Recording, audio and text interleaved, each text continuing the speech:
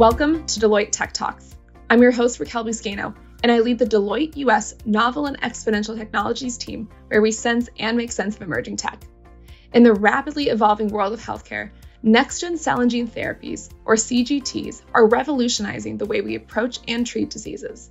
These cutting edge therapies hold the promise of not just treating symptoms, but potentially curing previously intractable conditions, such as certain cancers and rare genetic disorders.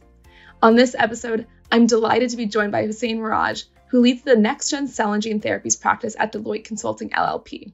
We're going to dive into the fascinating journey of CGTs, from the early days of clinical trials to the current state of the industry. We'll explore what sets CGTs apart from traditional pharmaceuticals, discuss the challenges facing the industry, and look ahead to the exciting future of the biotech sector in general. I'm very excited. We have a lot to cover. So, Hussain, welcome to the podcast. It's so great to have you. Fantastic to be here, Raquel. I know that you've been working in the space for quite some time.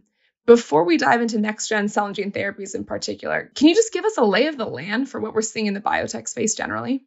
Well, I've been in the biotech space over two and a half decades and how rapidly the sector is evolving is just mind blowing, right? It's driven by the technology advancements. It's driven by the massive increase in investments and a growing demand for innovation.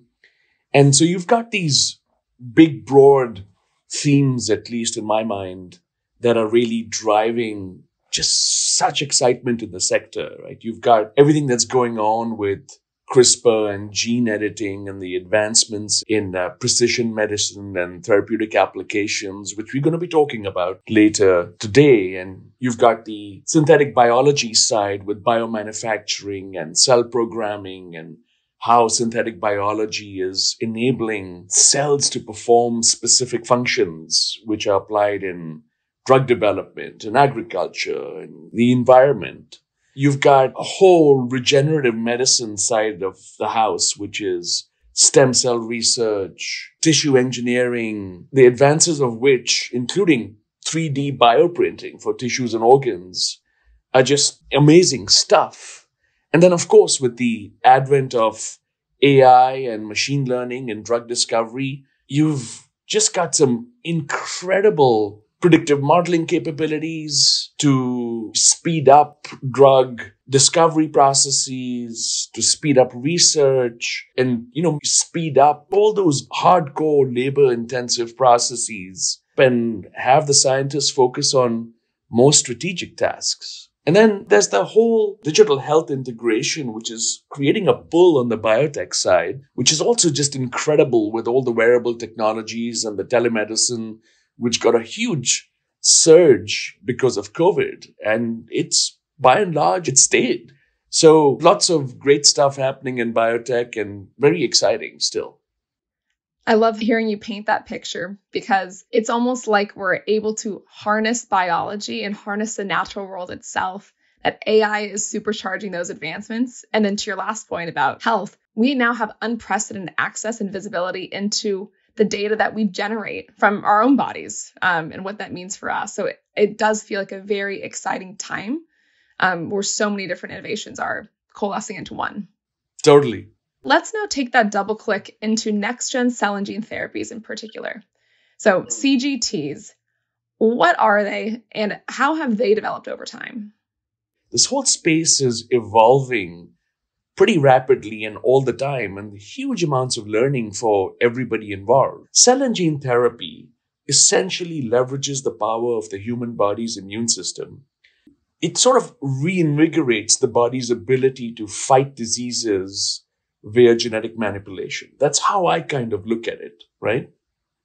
The two broad types of cell and gene therapies. The first one is the gene therapy, which is in vivo, which means that the genetic manipulation is done within our own body. And there are many ways to do this. One of the most common is using viral vectors like AAV, which carry genetic payload that is deposited into a target tissue in the body and delivered. The other type of cell and gene therapy, uh, the broad category, is cell therapies. And these are most commonly represented by ex vivo, which means that that genetic manipulation is done outside of the body of the patient. And one of the first kinds of cell therapies and a very successful kind of cell therapy was CAR T. And the first two products were launched way back in 2017 and, and there was lots and lots of excitement. And now there are almost 10 approved products in the marketplace. And these are curative therapies. This is not just attacking the symptoms.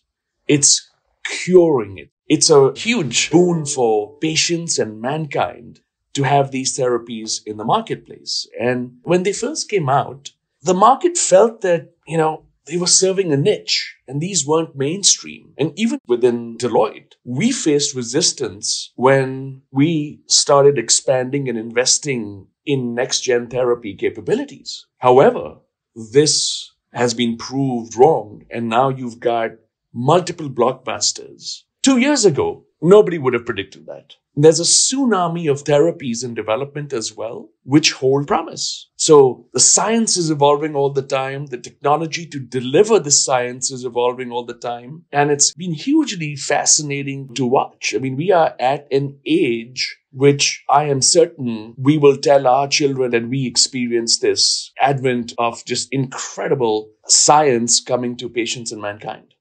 What's been the cause of that dramatic change from even just a couple years ago to now? Is it clarity of regulation? Is it the ability to scale production? Is it the accessibility of supplies within the market? How did we hit such a revolutionary trend in just a short amount of time? That's a great question. And you'll get a variety of opinions on that one. What the marketplace and what private enterprise and academic enterprise have been able to do is really come together and focus. Cell and gene therapies have been around for decades, right? Even before 2000, there was a talk of gene therapies holding a superior promise, etc. But the ability to mobilize deep science with the right amount of funding and finance, with the focus and skill sets and the regulatory bodies really coming and encouraging this and all of that coming together has really catalyzed these therapies coming into the marketplace. You mentioned earlier the difference between cell therapies and gene therapies. And so, cell therapies, that genetic manipulation takes place outside of the human body. Gene therapies takes place inside the human body.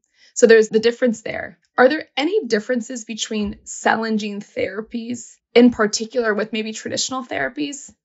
Many people who are not in this space sort of consider cell and gene therapy as just another small molecule product from big pharma or a monoclonal antibody from a product. That's not the case here. These are live biological cells or tissues where the patient is the bioreactor and the raw material provider. It's a very different path to where everything around these traditional therapies is designed around the product. Whether it's the regulations, whether it's the SOPs within uh, a manufacturing concern, it's pushed all the way from raw materials into the marketplace where it's pushed into clinicians or in some cases direct to patients. In cell and gene therapies, these are pull based. It's got a pull based value chain. It's built around the patient and it's make to order in most cases. You've got to really have a different mental model shift when you're taking these therapies to market. And in the cell and gene therapy space, it's also really hard to differentiate between process variability and raw material variability, unlike in the traditional products of biopharma process variability and raw material variability. Can you give me an example of uh, what that looks like? So, the raw materials for a cell therapy, for instance, really come from the patient where the patient is taken into a clinical setting and apheresis. That means they take the blood into from the patient and they put them into bags and then these bags are shipped to the manufacturing facility, sometimes fresh, sometimes cryofrozen. Now you're talking about very sick patients. And in some cases, these are fourth line patients, so almost hospice patients. So the quality of the raw material itself is dependent very much on how well the patient is or not. And in many cases, these patients have already had chemotherapy administered to them, so which degrades the quality of their cells to begin with. And so the input into the manufacturing process of these therapies has a degree of variability that can't always be controlled, unlike in traditional production of small molecules or monoclonal antibodies.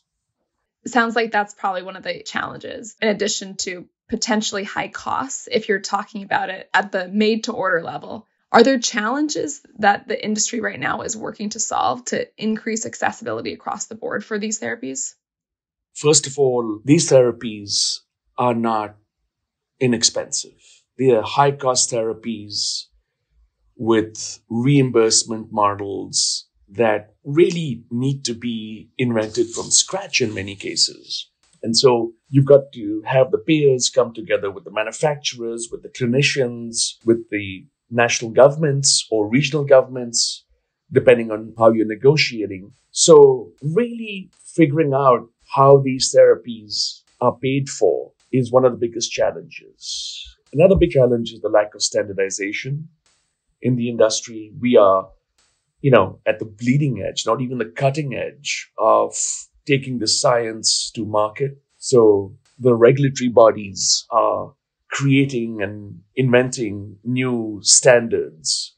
Manufacturing is basically uh, inventing new ways, new technologies to manufacture these therapies, right? So great promising new levels of technology sort of coming into this space to scale this. But that is a big challenge for now. You've got to learn unlearn and relearn how to launch these therapies, right? So you've got to basically put aside 20 plus years of learning how to launch traditional therapies, really learn how to work together in a deeply cross functional way and using digital capabilities to the extent that have not been used, connecting directly to the clinicians and the patients relearn that space and then launch these therapies. So lots of challenges, but let me tell you, the excitement and the vigor uh, and the funding in this space has been incredible. And it's such a mission driven industry where you're talking about curing previously unthinkable to cure diseases. I mean, talk about an industry that's as exciting and mission driven as that. What does the future hold for you here? Like where do where do we go from here? Is it more accessibility? Is it more products hitting market? What is the future of CGTs?